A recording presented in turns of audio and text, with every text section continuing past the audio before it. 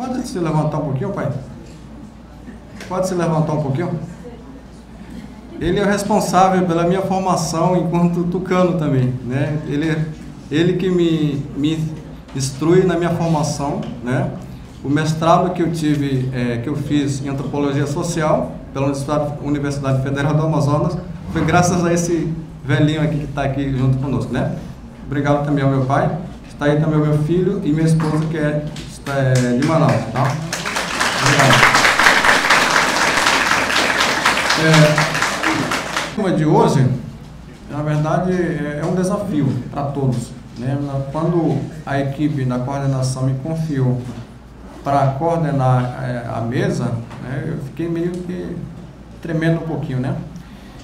Mas, é, assim, é, aí vem toda, todo o apoio do professor Lucas, da Doroteia, né? Então eu disse assim, não, já que a confiança está, né, que eu tenho de vocês, então vou assumir esse desafio e compartilhar, né, com os nossos convidados que estarão na mesa, né? Inclusive, ele daqui a pouco vão estar aqui. Então, nosso tema de ACC é justamente é, esse aqui, mídias e terras indígenas no Brasil.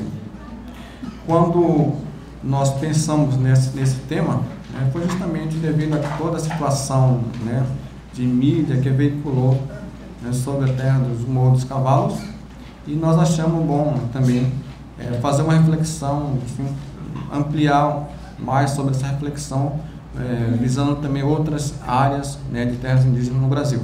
Né. Eu começo aqui uma breve apresentação. Na verdade, eu não sou nem jornalista, não tenho muita, muito conhecimento, tenho só uma formação em antropologia, além de ser tucano, né?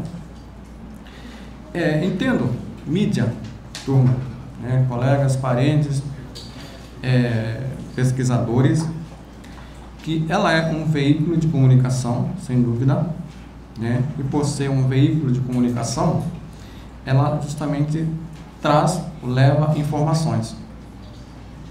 Só que toda informação nós sabemos que pode ser qualificada ou também uma informação desqualificada. E duas coisas né, importantes da minha concepção. Ou seja, enquanto qualificada, a uma informação justamente é, faz com que aquela informação se torne né, uma coisa atenciosa, ou vice-versa também. Basta você ver, por exemplo, é, os músicos, as músicas, né? A, a, as, as, rádios, as, as TVs, são as, a, as fontes em que uma música faça sucesso. Assim como a mídia também é capaz de, digamos assim, é, acabar com uma certa imagem, uma certa música uma certa informação. E temos duas concepções aí. Terras indígenas. Na minha humilde, na minha humilde concepção, e também devido à formação que a gente vai tendo, essa concepção é do Estado. Terra indígena, ela é estabelecida pelo Estado. Então, tem toda a questão da demarcação das terras, né? enquanto que a territorialidade indígena é o que, para mim, é, tem maior significado nas nossas concepções tradicionais. Por quê? Ela ultrapassa a noção de terra indígena. Então, a, a demarcação da terra indígena, ela corta, né, digamos assim, um quadro, um retângulo, um triângulo de uma terra indígena. Enquanto que nas concepções indígenas, vai além daquilo que é demarcado. Então, esse é o desafio para nós, né? nós indígenas.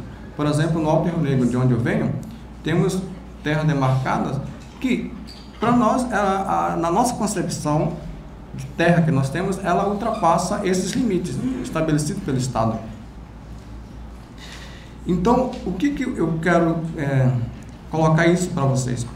Que mídia em relação às terras indígenas, quando ela quer, assim, digamos assim, trazer uma informação desqualificada, ela simplesmente está desconstruindo os valores do ser indígena, né?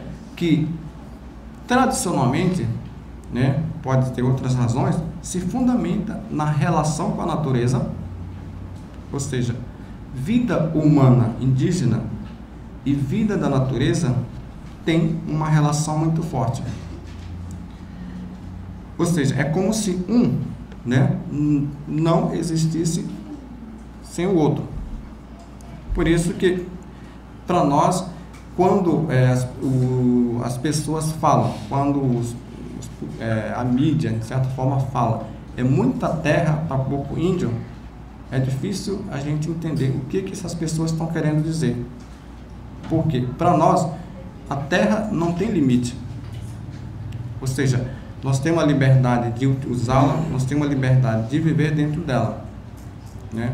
Então, todas essas questões que vão é, acontecendo, vão ocorrendo. Então, é, to, todos esses fatores né, são, na verdade, estão, são desafios para nós também, até porque nós estamos, muitas vezes, as questões das terras indígenas só são postas na, nas mídias quando acontece o quê? Uma invasão, né? quando acontece alguma coisa, ou seja, até eu, eu vejo que a qualidade do ser indígena, os valores culturais do ser indígena não são trabalhados pela mídia, né? o modo de ser. Né? Aí vem todos esses problemas que nossos é, convidados então vão, né, na verdade, eles têm mais assim conhecimento, têm mais experiências, né, em relação de pesquisas e assim por diante. E justamente para melhorar mais nosso raciocínio, né, a nossa a nossa reflexão sobre o tema, então vou chamar aqui para compor a mesa nossos convidados.